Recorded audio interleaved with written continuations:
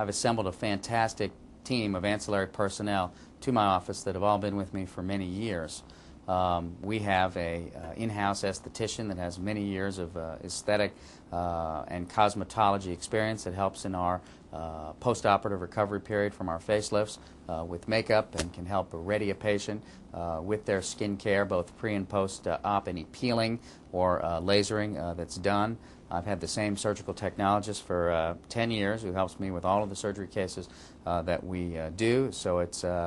always nice to have that same person uh, doing your cases day in and uh, day out. Uh, we've had a surgical RN now uh, for many years, and um, Kim's the one that would meet uh, with you uh, preoperatively and go over all of your expectations, go in detail to how the expectations would be that you would heal, what to look for, what to look out for, what to do and not do, so that the healing process can be um, as quick and